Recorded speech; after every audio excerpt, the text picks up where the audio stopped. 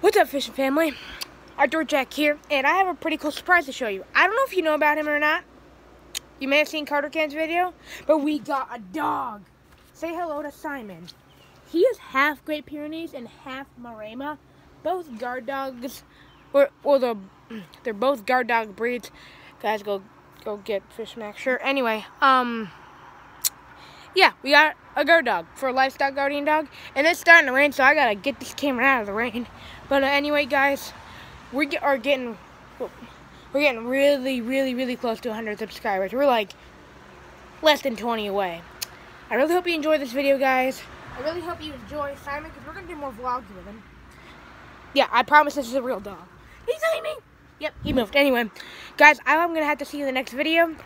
Uh, give me some elbow, and I'll see you in the next video, fishing family. And I am out.